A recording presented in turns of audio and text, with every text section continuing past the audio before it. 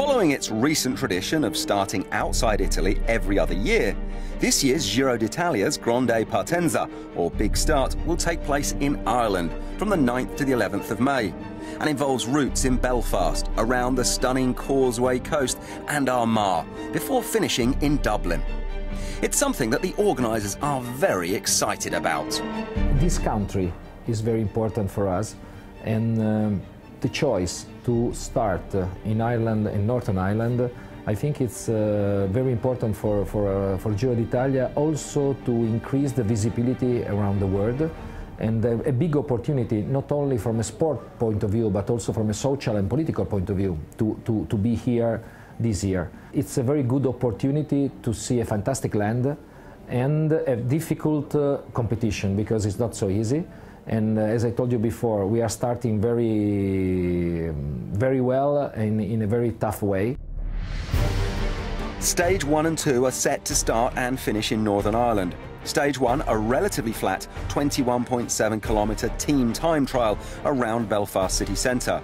A very demanding, tight and technical route. The teams will have to work hard to negotiate the course. Stage two is one for the sprinters. Again, a relatively flat stage. This 218 kilometre leg of the race starts in Belfast, taking in the Causeway coastal route before returning to Belfast. Believe me, I'm really very impressed.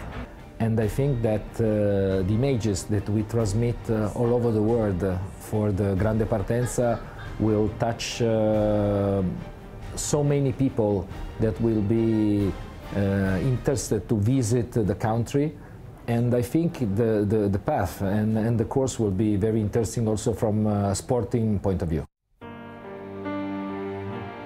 Following recent starts in Greece, France, the Netherlands and Denmark, Ireland is the latest nation to host the Giro departure.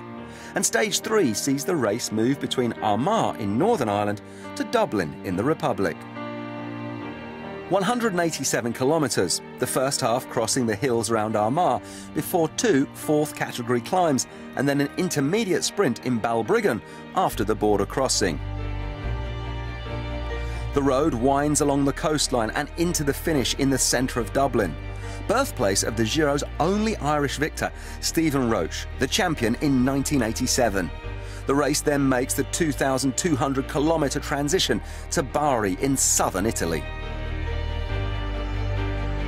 It's a long race, takes uh, 23 days, so I mean, uh, it's uh, everything can happen. Of course, we start very tough uh, since the beginning, and then we move uh, our caravana from uh, from Ireland to, to Italy, and I think it's the best way to start Giro d'Italia in 2014. Nobody would have bet on it a couple of years ago.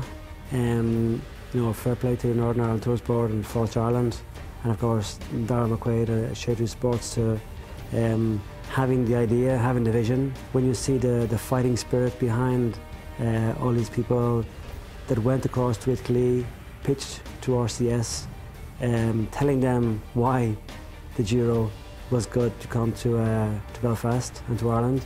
I think it's, um, it goes, it's embraced very well by the Giro and it'll be embraced very well by the Irish people because it's, um, we're both the same kind of profile. You know, it's uh, people that believed in it, um, really pushed very, very hard and got it. And you know, I'm delighted now to be part of it as, a, as like the Giro ambassador for the Northern Ireland Tourist Board.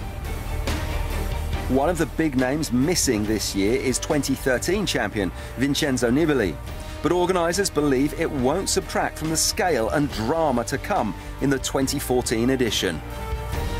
Last year he won uh, an incredible Giro d'Italia under incredible pressure and uh, incredible climatic, climatic situation.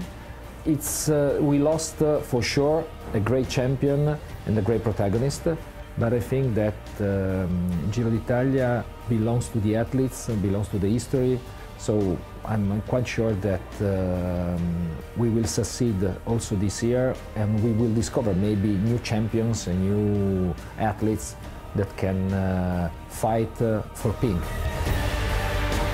With the Grande Partenza set to start on Friday, the 9th of May, all eyes will be focused on the Emerald Isle to see who will leave these shores with the pink leader's jersey on their shoulders.